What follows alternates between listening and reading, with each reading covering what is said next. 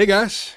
Yes, it is me. I am back in the flesh. Very happy to be back uh, from my mini vacation that my beautiful wife and I took for our anniversary. We enjoyed some very much deserved R&R. And if you follow me on IG, then you would have seen at least a glimpse of it, a very, very small glimpse of it. But I'm back and I am more tanned than I've ever been in my life and feeling rejuvenated and ready to go. Now, just because I was going for a couple of days doesn't mean that I was out of the loop completely. And I happened to see that there was this war of the worlds going on on social media between two content creators.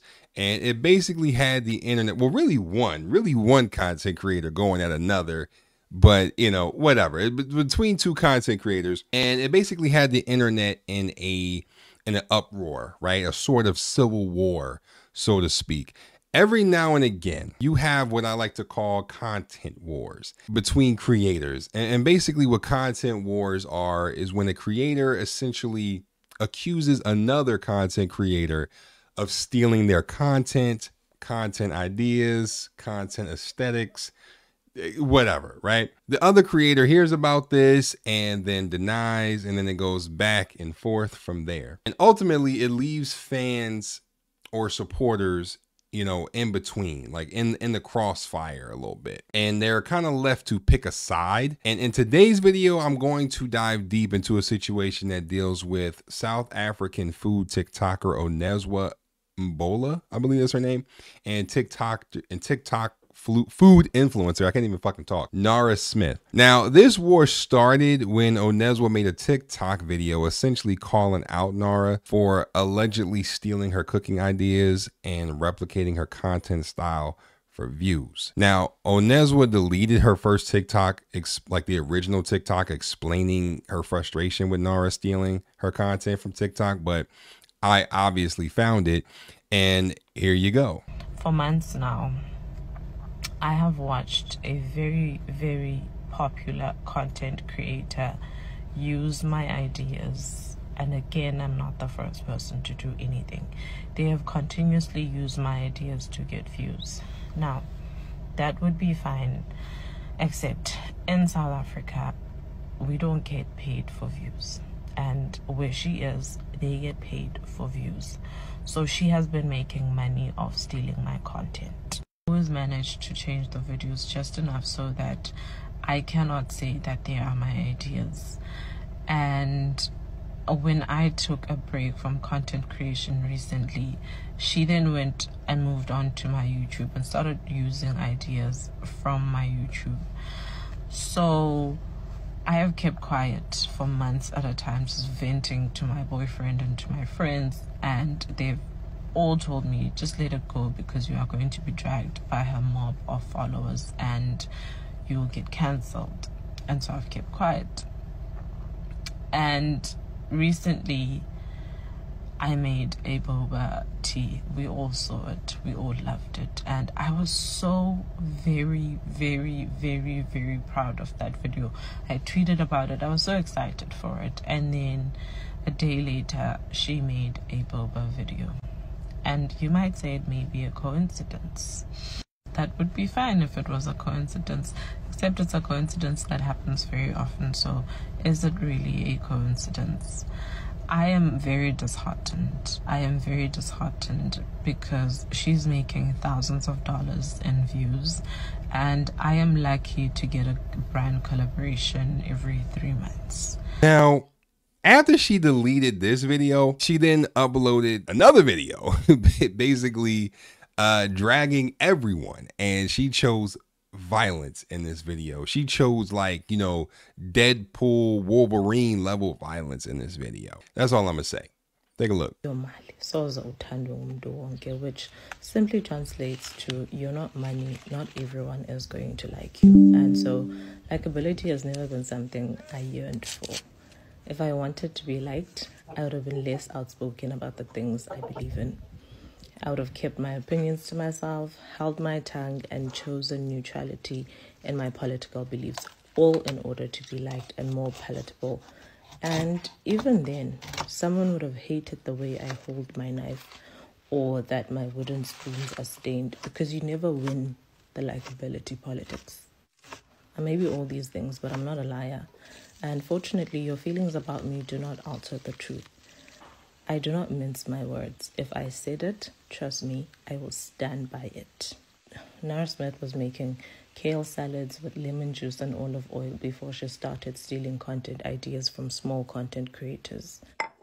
Now, I know she's not slow, and she intentionally misconstrued what I said with the comment about not being the first to make boba because she knew y'all would run with it, and gallop you did. Man, okay. So here we go, y'all. so Onezwa here, just to give a brief cliff note here about you know her content. She is a South African TikToker who primarily makes content where she makes meals from scratch. And when I say from scratch, I mean like she goes out, you know, picks the vegetables, right? She grows her own stuff. She goes out, gets the chicken, she kills it, takes the guts out, skins it, chops it up, cooks it, uh, everything from scratch.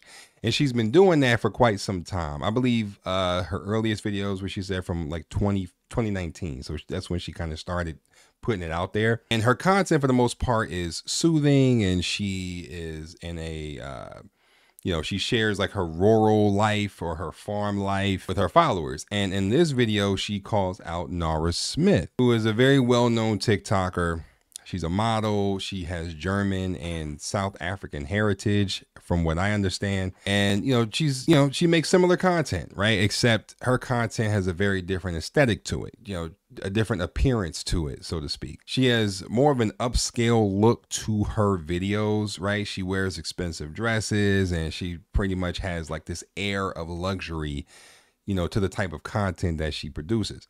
Now, I've been familiar with, you know, Nara Smith, right? I don't watch every video she puts out, but you know, I am familiar with her because every now and again, the internet makes it a point to, uh, you know, drum up something to hate on her for. And I honestly never really care to dig deep enough in the trenches to find out. But this situation was just too massive, right? Just too big to ignore. So in the video, you can tell that she's not happy, to say the least. She's very upset and you can hear it all in her voice. She starts talking about respectability politics first, and then she says that she's not a liar and you know it says that if she says something you know she meant it she gonna stand on it 10 toes down you know she then proceeds to double down on her nara smith accusation from before in her original video that she deleted and says that nara was making different types of food before she started to steal content from her as well as from smaller content creators. Now, she does go into a more specific situation in which she refers to a video where Onezwa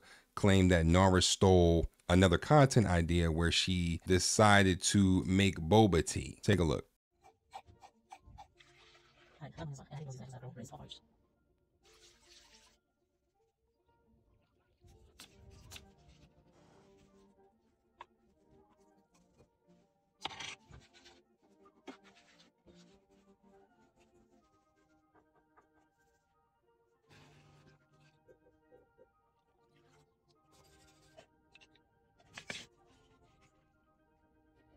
Well, uh, that looked good as hell. Now here's Nara Smith's video that Onezwa claims she stole from her.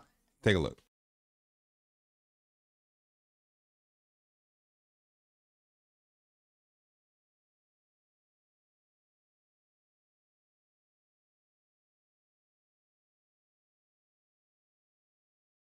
Now, as you can see, they both made boba tea. And you know, side note, I actually do fuck with boba tea. I like it. You know, ever since my wife put me onto it, I've really been like, you know, going going crazy after it. But anyway, that's beside the point. Now, what's interesting about this situation is that Onezwa posted her video going through how she made her tea on June 10th, and Nora made her her video on the 12th.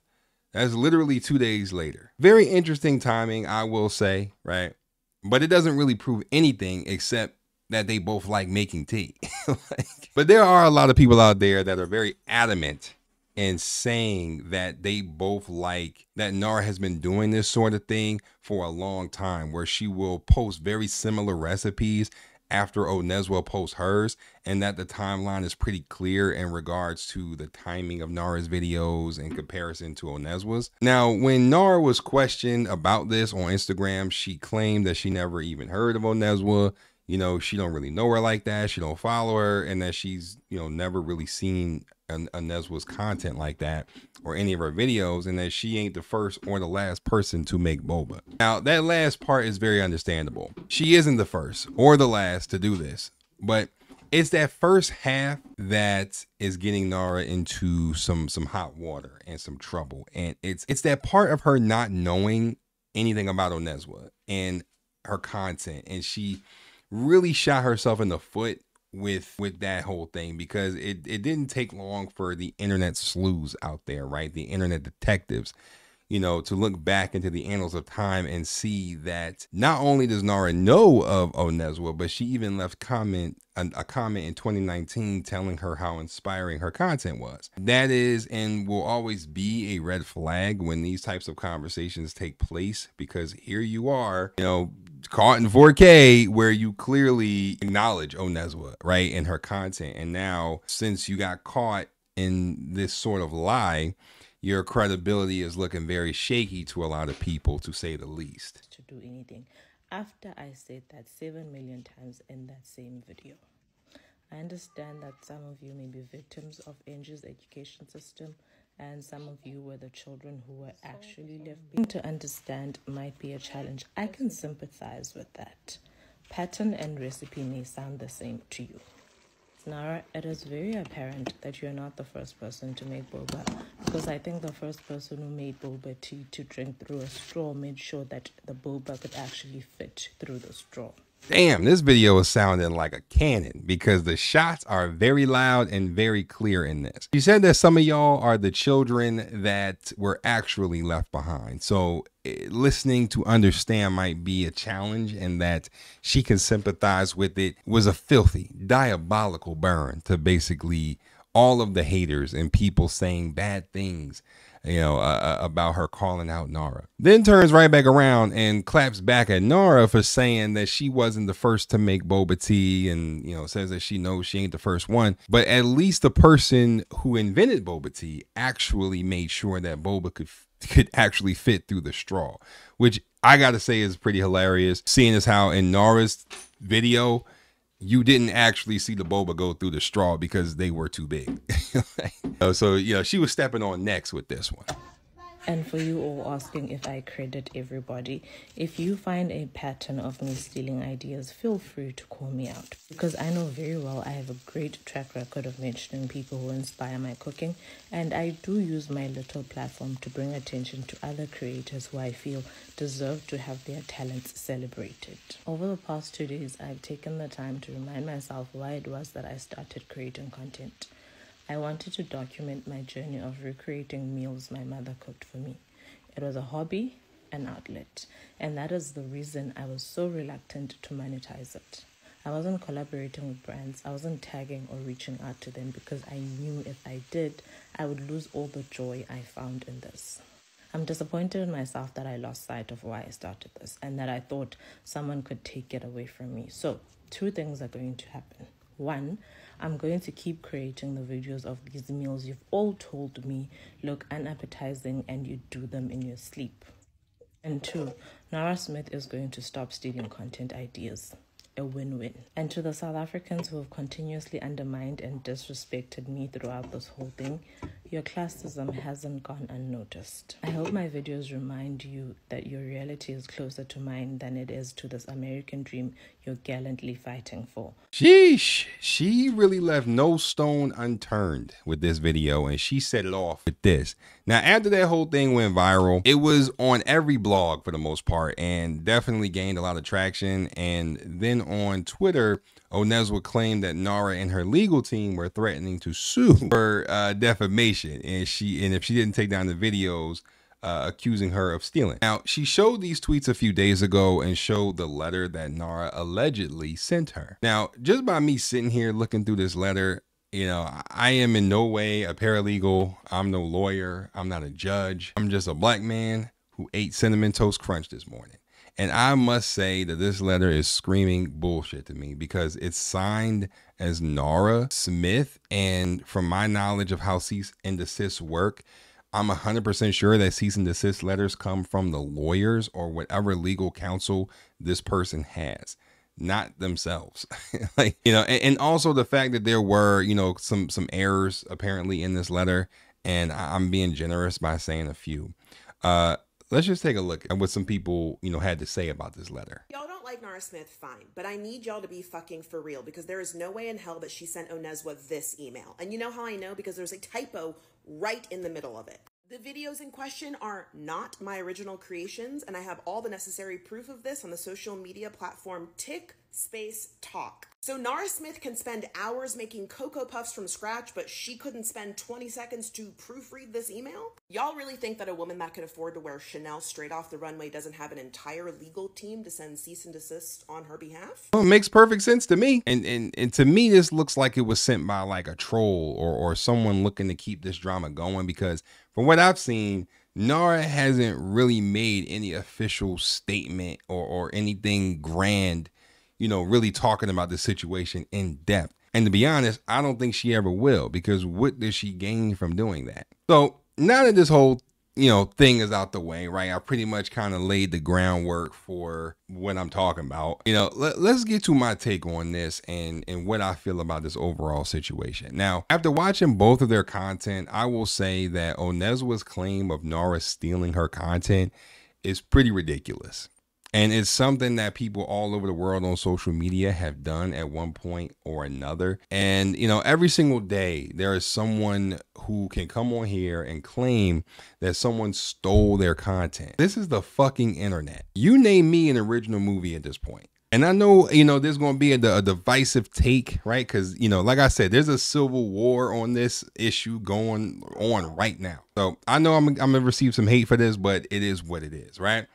Um, you know, you name me an original movie at this point. Even Hollywood recreates films from the past or from a book or even a real life situation that happened. People are going to watch content from other creators that they like and be inspired by their content, recreate it in a different way, and put their special little twist on it. Onezwa's style of content is simply different from the style of content that Nara Smith makes. I can't make it no simpler than that, y'all. Onezwa seems like she's, you know, she's from like an area in South Africa where she grew up having to make her meals the way that she makes them in her videos. Nara Smith, although she may have South African blood, did not have that experience. And so she's creating the content in a way that she feels is good for her and her audience. I also have this question. Why doesn't Onezwa come out and call out all of the other thousands of content creators who have made boba tea or soup or or you know lemonade or what anything like that and claim that they stole from her too.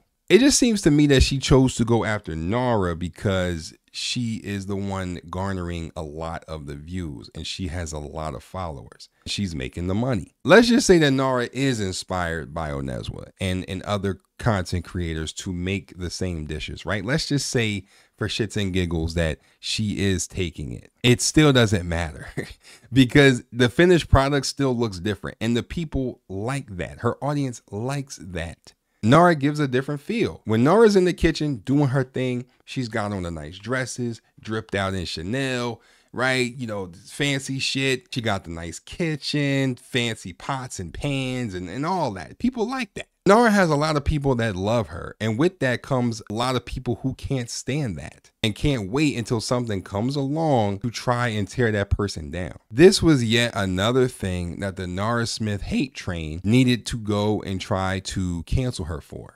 Hell, some of the followers that she has, uh, some of them follow her, watch every single thing she posts just to turn around at the slightest hint of something and attack her for it. When there is minimal evidence at best of her stealing anything. It's hearsay.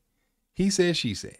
Keyboard assassins on Twitter who just need something to latch on, grab onto in order to go after someone they don't like for whatever parasocial reason they they they want. If she did take Onezwa's content, she redid it in her own Nara Smith way.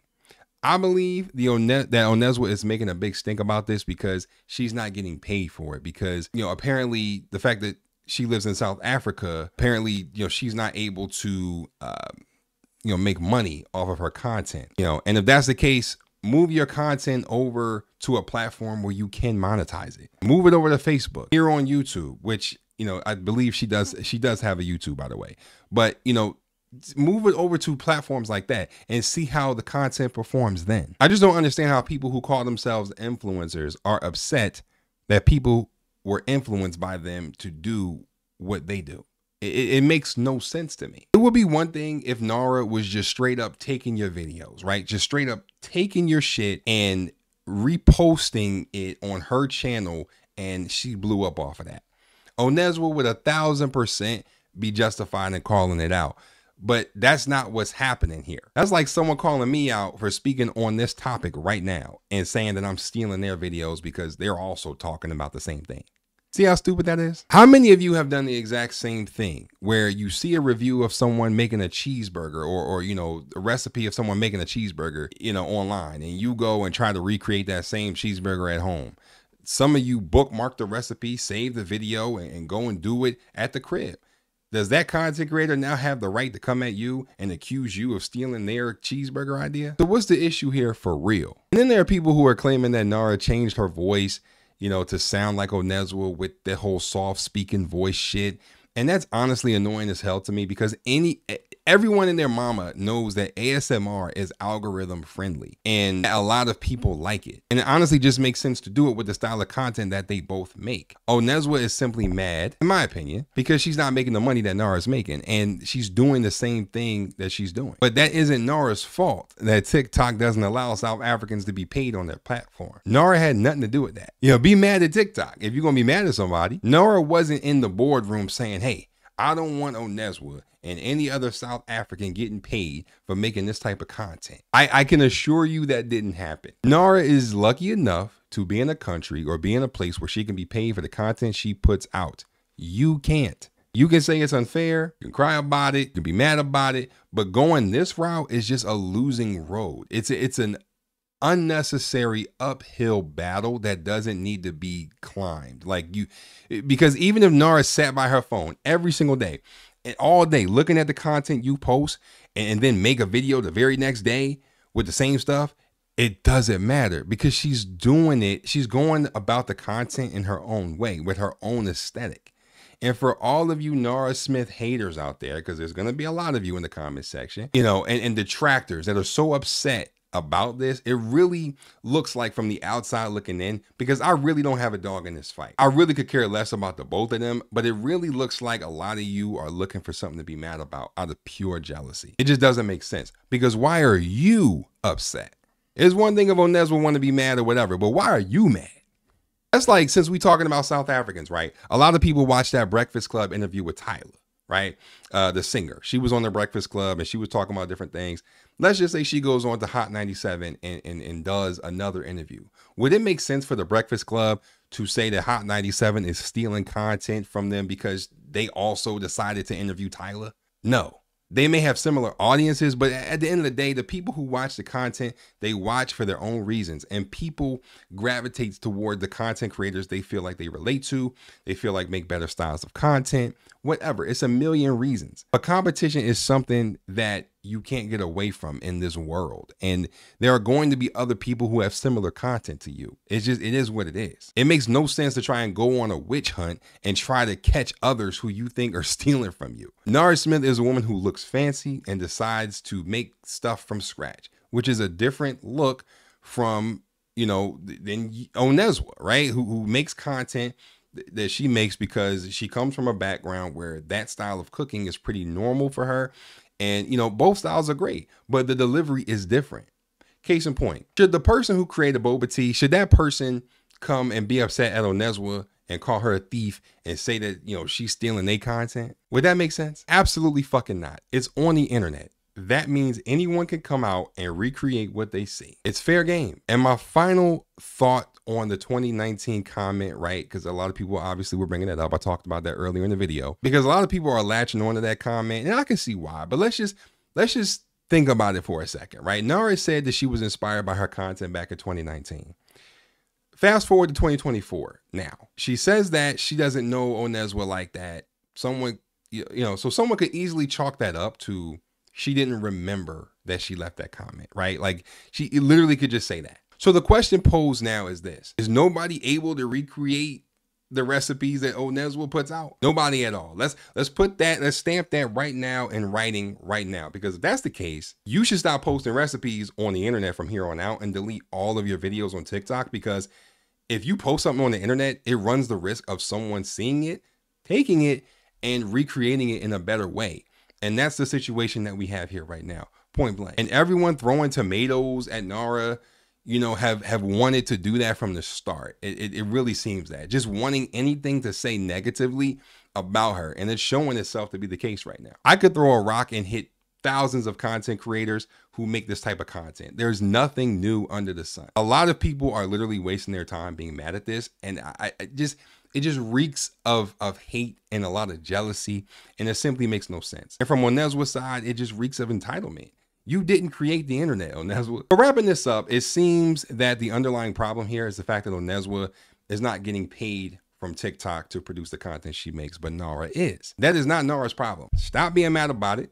Pick yourself up and go about your business and monetize your content on other platforms. Try Patreon. Hell, put it up on OnlyFans. You can put other content on there besides your coochie, right? I don't know if people know that, but you can. But I really need people to stop with this entitled mentality that nobody else can do what I do. And, if you do, then you're stealing from me. Ah, just relax. Woosah.